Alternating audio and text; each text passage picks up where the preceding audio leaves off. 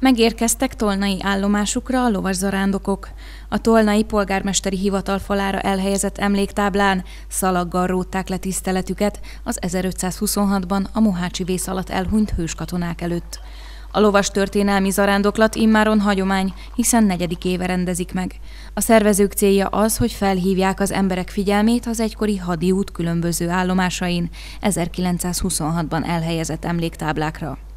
2016-ban a 490. évfordulón dr. Négyesi Lajos hadtörténész hívta föl a figyelmet, hogy ezek a táblák léteznek, és akkor született az ötlet, hogy hozzunk létre itt egy katonai zarándokutat, emlékezve mindazokra a hős katonákra, akik az életüket áldozták a hazáért. Hát az elején csak egy páran indultak el kerékpárosan, aztán gyalogosan is csatlakoztak, aztán a, harmadik évtől kezdve pedig folyamatosan lovas hagyományőrzők is vonultak föl. Most már lehet látni, hogy kb. 15-20 lovas folyamatosan halad végig.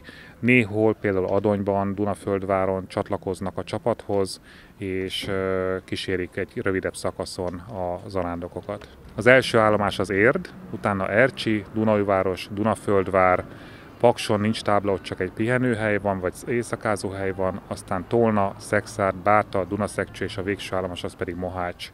24-én indult a csapat, és hát az évfordulón 29-én érkezik meg. Tiszteletünket tesszük a hősök sírja előtt, egy főhajtással, illetve koszorúzással. Emellett, mivel emlékhelyek napja is van ezen a napon, ezért történelmi hagyományőrzők különböző bemutatókkal készültek, viselet, fegyver, szokások, katonai szokásokkal bemutatóval készültek, és hát egy különlegesség elindult a Mohács 500 program keretében az egyik tömegsírnak a feltárása, amivel hát hosszú távon vannak elképzeléseik, egy céljaink, hogy abból a kinyert tudományos anyagot azt kiállításként majd bemutathassuk az odaérkező vendégeknek. Fontosnak tartják a fiatalok bevonását is, nem csak a hagyományteremtés céljából, de úgy vélik, könnyebb úgy megtanulni a történelmet, ha azt valamilyen élményhez tudja kötni a diák. Az arándoklat alatt három Tolna megyei települést érintenek a lovasok, Tolnát, Szexárdot és Bátát. Tolna arról volt híres, hogy itt csatlakozott a királyhoz a legtöbb csapattest, itt várták be, és innen vonulnak le. Szexárdon pihen meg, és utána Báta viszont arról, hogy ott gyont meg utoljára a második Lajos a Mohácsi csata előtti napokban.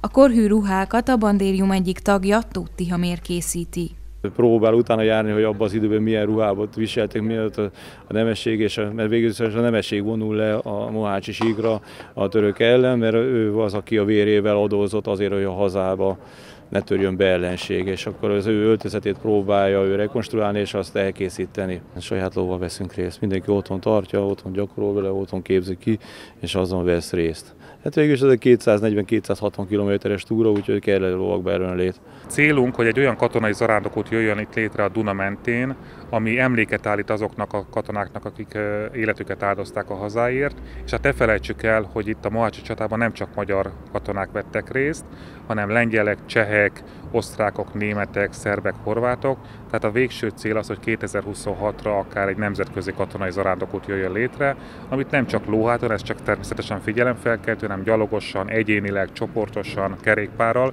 sőt most már az is cél, hogy kajakkal, kenúval, tehát van vízi járművel a Duna mentén végig haladva teljesítsünk hiszen ne felejtsük el, hogy a sereget az kísérte egy kisebb flotta is, ami az ágyokat és az élelmiszert szállította. Mikor ez a tömegsír feltárásra kerül, utána ő 2026-ban a csata 500. évfordulóján egy katonai tiszteletadás mellett megkapják ezt a végtisztességet. Ott a Mohácsi Nemzeti Emlékhelyen. Az eseményt a miniszterelnökség is támogatja.